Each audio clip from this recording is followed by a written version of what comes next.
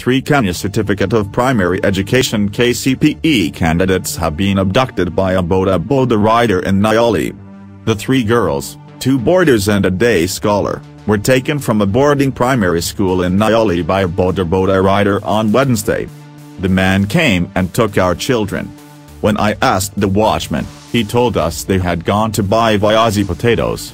This is the third day, I can't sleep or eat.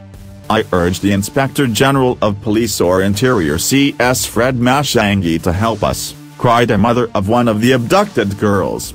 The parent, Ms. Emily Nongela reported the matter to Nyali Police Station whose occurrence book number is 26-14-3-19. My daughter, a 13-year-old girl left home on Wednesday morning but she never came back home. I reported the matter to the police station and to date no one has helped me.